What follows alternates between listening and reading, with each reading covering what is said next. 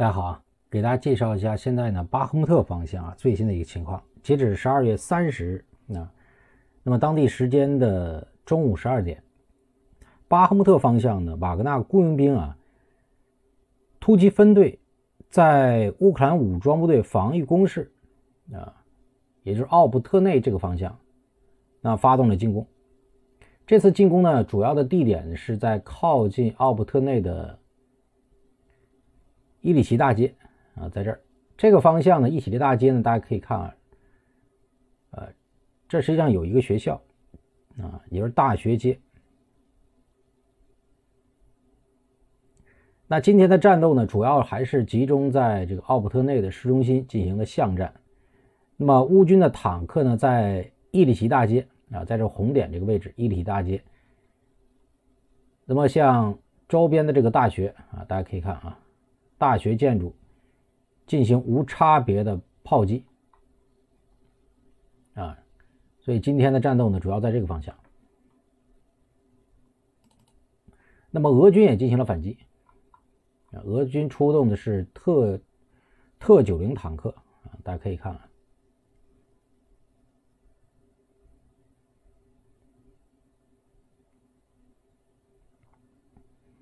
所以在奥普特内呢，实际上双方进行了这个坦克大战啊，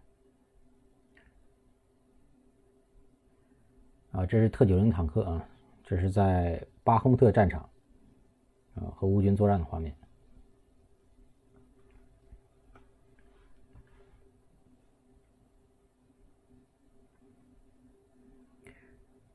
嗯，大家知道特九零呢，实际上现在是俄罗斯啊最先进坦克，那么已经部署在。奥普特内这个前线，呃，在巴赫穆特东北部啊，啊，东北部呢，在皮德赫拉德恩这个方向。今天呢，俄罗斯的武装部队控制了第五十七旅，在皮德赫拉德恩的这个阵地啊，两个两个阵地。呃，今天的战斗在皮拉啊，皮德赫拉德恩啊这个方向，实际上呢。战斗还是比较激烈的，大家可以看啊。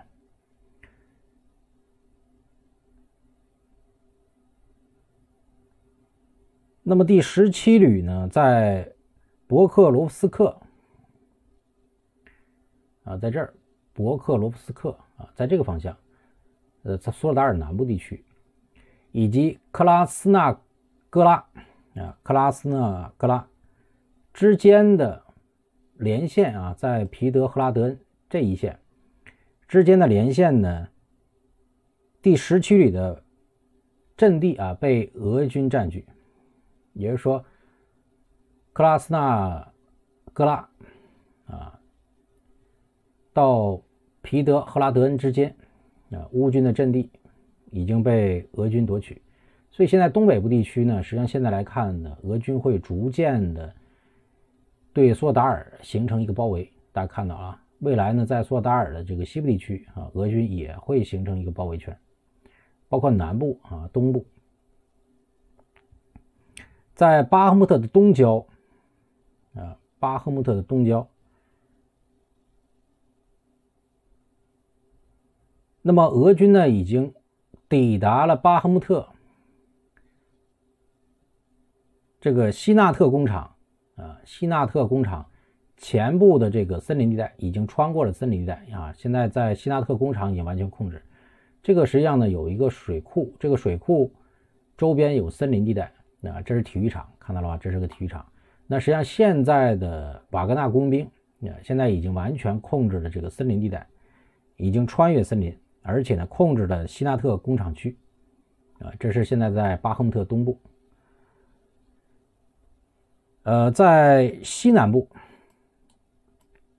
巴赫穆特西南部，在教堂区以及库尔久米夫卡这两个方向，呃，西部的两个阵地呢被俄军呃攻占。另外呢，乌军的第二十八二十八旅的部队呢，实际上在这个方向对教堂区库尔久米夫卡俄军的阵地进行了反击，那么最后被击退。啊，所以现在在教堂区库尔久米夫卡方向，俄军新夺取了两个阵地。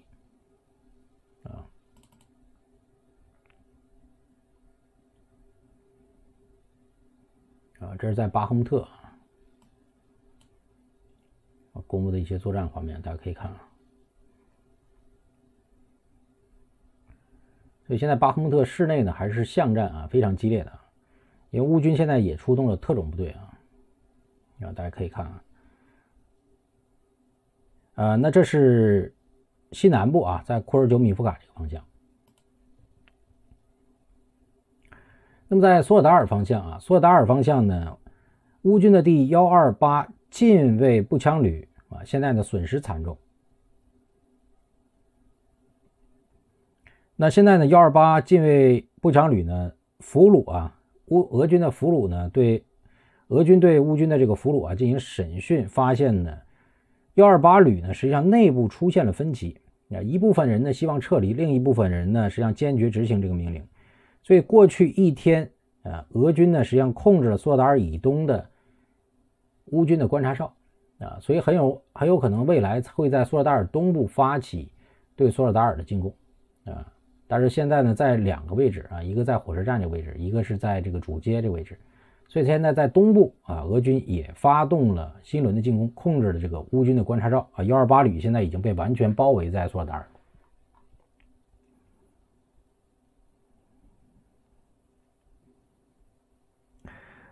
另外呢，在巴赫穆特啊，在恰索夫亚尔这个方向啊。俄军侦察发现呢，乌军呢新增援了一百四十三人，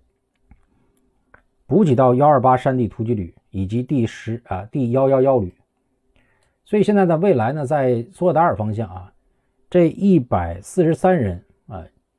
将增援索尔达尔啊，是从恰索夫亚尔方向啊侦察发现的。另外呢，幺幺幺旅呢实际上在巴赫穆特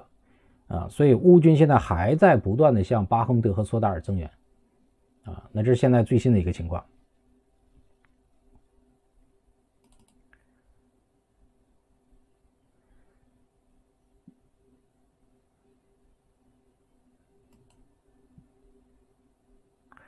除此以外呢，在巴赫穆特呢，俄军呢还公布了消息啊，击毙了波兰雇佣兵啊两个人啊，两名波兰雇佣军。这两个人呢，实际上呢，根据我现在了解的情况，俄军公布的消息呢，他们实际上呢是排长，负责指挥这个台湾啊被击毙的这个雇佣军，他所在这个外国雇佣兵啊雇佣兵的这个叫外国啊国际啊雇佣兵团啊，他们两个人呢实际上是负责指挥这个外国雇佣兵，其中包括日本人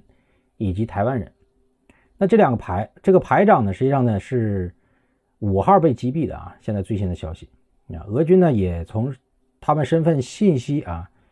获得了一些情报。我把现在获得消息给大家介绍一下。那么两个人呢都是波兰人，四十一岁的啊，四十一岁的原波兰的演员叫谢尔灭特，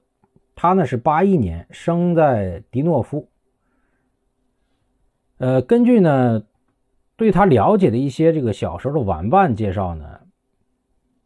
啊，他实际上并没有在军队啊服役过，所以他并不是职业军人，啊，他实际上是一个演员。一四年呢，谢尔曼特呢抵达了乌克兰西部，而且呢在那里呢，他研究乌克兰的哥萨克传统习俗啊，演员嘛，他实际上呢对哥萨克文化。呃，更有向往，所以在社交媒体中啊，他自己的社交媒体上大量的出现了哥萨克这个前额，大家可以看啊，他这个前额留这个长头发啊，哥萨克把两侧头发剃光，只留中间一个头发啊，就类似于这种哥萨克特殊的头型。另外还有这个小胡子啊，他也留胡子，哥萨克的胡子，所以他是波兰人啊，所以他一直在乌克兰的西部地区研究哥萨克。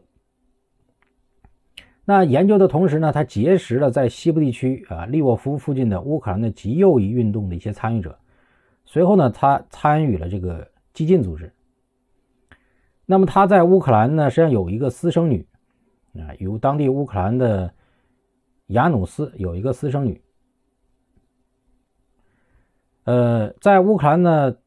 生女以后呢，他自称自己叫哥萨克啊，所以呢一直生活在乌克兰。那么他呢，一五年的时候呢，是在一个马术剧院啊工作。一六年呢，他移居到英国了。一七年到一九年，他就读于英国布莱顿独立戏剧学院。二零年呢，他主演了几部啊由呃谢勒执导的电影啊。那么他呢，还学会了中国的武术，呃，包括巴西的柔术啊。MMA 啊，他实际上都有啊，都有涉猎。二二年二月，特别军事行动开始以后呢，这个波兰人带着女儿从乌啊，从乌克兰把他女儿从乌克兰接到了波兰。那么三月八日，他又返回到乌克兰，与这个国际军团签约。啊，这个时候呢，实际上就和这些日本呢、台湾的这些雇佣兵有了交集。那他在。Instagram 和 Facebook 上面的社交媒体啊留言呢显示呢，他表示啊，他将与俄罗斯人作战啊，通过击败俄国人来停止战争。五月底呢，他担任了排长，五月底他就升任排长。一个演员能升任排长，大家可以看这个外国军团啊，就这个台湾人、日本人参与的这个外国军团啊，他的整体水平啊，这个人呢实际上会武术啊，会武术，会柔术啊，没有作战经验。但是最后当了排长，你可以想象这个阵亡率啊。他呢主要指挥的这个排呢有来自于哥伦比亚、智利、日本啊、台湾、法国还有美国的一些工具。嗯，夏天的时候呢，谢利梅特呢还接受了波兰电视台采访，讲述他在哈尔科夫受伤的经历。他在波兰媒体上公开表示啊，他杀死了一名俄罗斯人。并带走了俄罗斯人的对讲机，啊，并监听了俄罗斯人通过对讲机下达的命令。呃，他对媒体表示啊，他们一行十二人，最终只有两个人存活，啊，其他人呢，要么战死战死在这个哈尔科夫战场，要么已经逃走了。像我之前说过啊，现在在整个的顿巴斯啊，在。啊，巴赫穆特方向实际上呢，它已经变成了一个绞肉场。就是在巴赫穆特啊，你不管有没有作战经验，你进去以后，啊，实际上呢，你存活的时间非常短。啊，这个巴赫穆特现在已经变成了这个全世界最危险的地方。啊，俄乌双方都在这个巴赫穆特方向集结了重兵。啊，你可以看啊，这是俄罗斯方面公布的巴赫穆特方向啊乌军的这个作战番号，大家可以看一下。这是已知的乌军的作战番号啊，这乌军在整个巴赫穆特方向，你可以看啊，集中的这个，呃，集中的部队啊，五十七旅、五十三旅啊，这是第四领土防御旅啊，二十四、二五、二三，你可以这番号啊，这还有亚速营，看到了吧？啊，造亚速营啊，所以你可以看啊，乌军实际上在巴赫穆特方向集中了大量兵力，那瓦格纳雇佣兵。你看瓦格纳雇佣兵啊，在这个巴赫穆特方向，哎，与整个乌军的主力作战，所以可以看巴赫穆特就是个绞肉场。那你像这些雇佣兵到达了巴赫穆特啊，像这些波兰人到达了巴赫穆特，实际上呢，很快就会被消耗在里边啊，因为巴赫穆特现在集中了全世界现在最危险的武器啊，最厉害的狙击手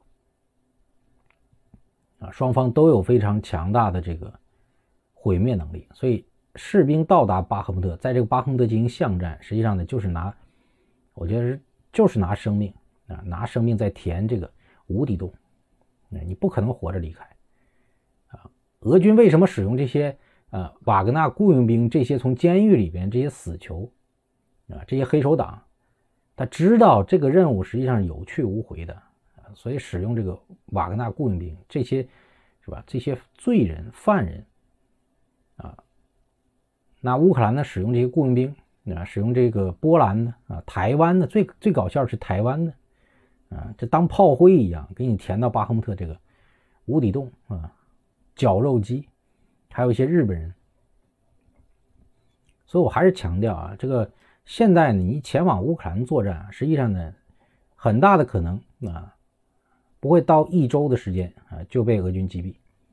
啊，所以我也跟台湾人讲啊，实际上台湾很多人还在想，是不是要去乌克兰参战？你可以想一想啊，你可以想一想现在整个巴赫穆特的情况啊，千万别看到台湾媒体给你介绍啊啊，台湾的被被击毙的那两个人啊是英雄是吧？致敬，真的热血热血热血沸腾，跑到乌克兰去作战，不用一周的时间啊，不用一周的时间，你作战再丰富那个经验，你最后到巴赫穆特还是被消灭。啊，这是世界现在是世界最危险的地方，巴赫穆特。啊，那这是今天呢，在巴赫穆特方向啊，现在俄乌双方最新的一个消息。呃，现在在白俄罗斯边境啊，也有一个消息啊，我后面的视频给大家介绍一下现在白俄罗斯的情况。